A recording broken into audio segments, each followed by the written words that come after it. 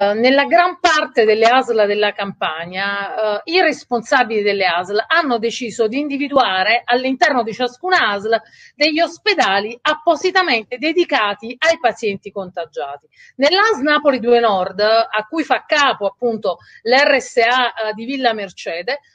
non si è ritenuto di individuare degli ospedali Covid, ma di individuare all'interno di ospedali, uh, diciamo, promiscui misti, alcuni reparti dedica- dedicati ai pazienti Covid. Uh, situazioni di contagio si sono determinate nell'ospedale di Pozzuoli, che fa capo alla stessa ASLA. Questi hanno deciso di far tornare una paziente nella RSA non facendo i tamponi, secondo anche quelle che sono le prescrizioni ministeriali, ma un test rapido. Una stessa situazione si è verificata nell'ospedale di Pozzuoli e una persona ha infettato tutto l'ospedale o comunque si è determinato anche lì un focolaio di contagio. Nell'AS Napoli 2 Nord, dicevo, non ci sono ospedali dedicati, ci sono situazioni promiscue e la cosa assurda che non si è capita è che l'AS Napoli 2 Nord, anche nel caso dell'RSA di Serrara Fontana, ha ritenuto che gli ospiti contagiati, quindi gli anziani contagiati, dovessero essere curati nella stessa struttura. Quindi non è che una volta che si era, fa, si era fatta la frittata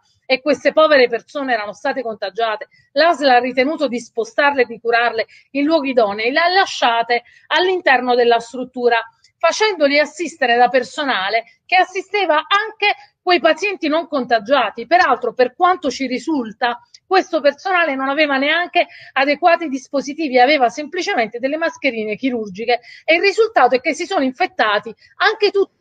o gran parte degli operatori che lavorano presso la struttura. A un certo punto l'ASLA si è resa conto che la situazione stava diventando, stava sfuggendo di mano e che cosa ha fatto? Ha sostituito il personale della cooperativa che lavora presso la struttura con proprio personale, quindi ha deciso di prendersi in carico direttamente gli ospiti della struttura, ma non è che li ha presi e li ha portati in ospedale, è l'ospedale che è andato dentro la struttura senza trasferire gli ammalati, senza camere di isolamento, senza percorsi differenziati e una logistica adeguata allo, allo scopo. In pratica sono state disattese le disposizioni ministeriali dell'Istituto Superiore di Sanità che impongono di tamponare tutti i soggetti che accedono agli ospedali, anche agli asintomatici che siano venuti in contatto con casi positivi,